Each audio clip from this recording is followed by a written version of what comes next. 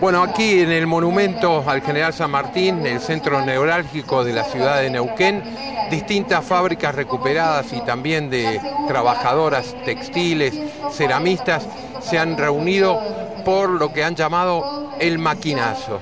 un lugar donde reclaman por su puesto de trabajo en la provincia de Vaca Muerta.